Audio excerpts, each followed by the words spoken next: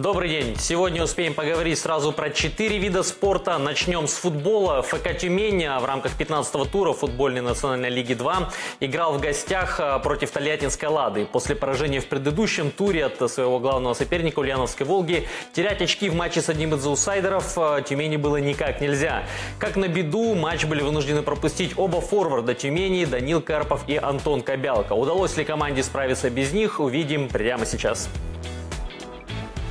Черно-белые, вышедшие на поединок в экспериментальном составе, долгое время привыкали к новым позициям. Отсутствие форварда сказывалось при развитии атак.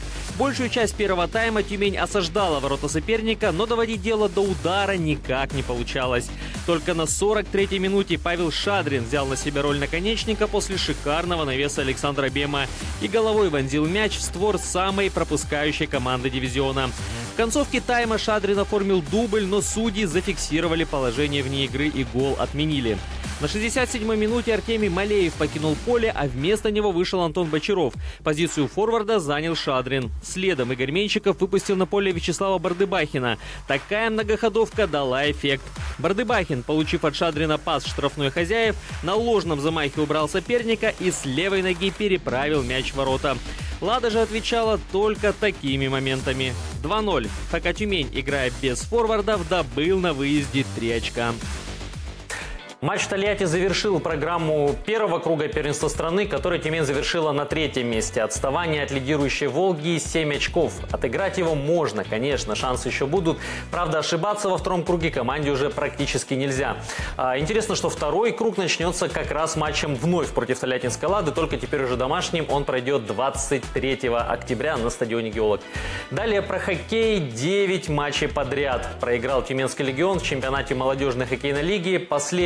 Из поражений в этой неутешительной серии э, было в домашнем поединке против авто из Екатеринбурга, хотя сибиряки сделали все для того, чтобы неудачную серию прервать. Э, о том, как до последних секунд шла борьба в этом матче, прямо сейчас в нашем сюжете.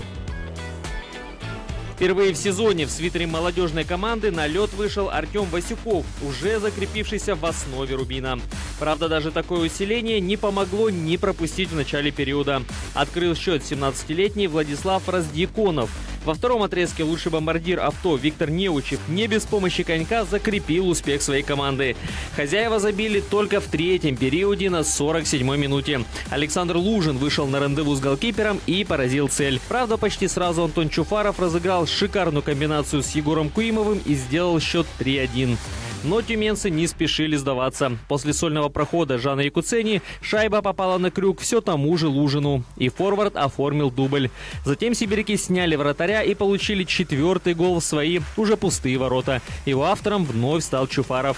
2-4. Легион продолжает замыкать турнирную таблицу конференции «Восток». В 16 проведенных поединках в сезоне тюменцы выиграли лишь один. Меньше всех забрасывая и больше всех пропуская. Впереди у тюменцев выездная серия аж из 10 матчей подряд. Снова дома легионеры сыграют теперь только 19 ноября. У нас на очереди волейбол. Э, команда Тюмень, мужская команда Тюмень провела домашние матчи против Магнитки из Магнитогорска и набрала лишь один балл из шести возможных. В составе гостей блистал Дмитрий Кравченко, который, что интересно, 10 лет провел в системе сибирского клуба, но свою бывшую команду не пощадил. Он за два матча набрал 10 очков на блоке, в то время как вся Тюмень Тюмень, только 11. О том, к чему это привело, прямо сейчас наш сюжет. Очередной тур чемпионата российской высшей лиги А волейболисты Тюмени провели дома и сыграли неудачно. В первом поединке против Магнитогорской магнитки они уступили со счетом 2-3. В повторном противостоянии реванша не случилось. Хотя шансы зацепиться за результат у хозяев площадки имелись. Так, вторую партию они проиграли на балансе 23-25. А в концовке третьей вели со счетом 22-20. Но затем уступили 5 мячей подряд. Как итог, сухое Первое поражение 0-3. Да, могло по-другому повернуться. Но я же говорю, если мы хотя бы сыграли там свои, свои процентов не знаю, 70-80, естественно, мы вчера бы выиграли сегодня. А если мы показываем максимум 50% от своих возможностей, то о какой победе можете речь?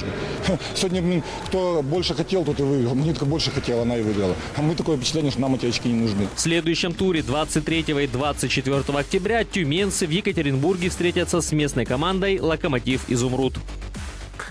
Сейчас, выиграв три матча из шести, Тюмень идет в середине турнирной таблицы высшей лиге А, а женская волейбольная Тюмень на этом же отрезке выиграла четыре матча и входит в тройку лидеров.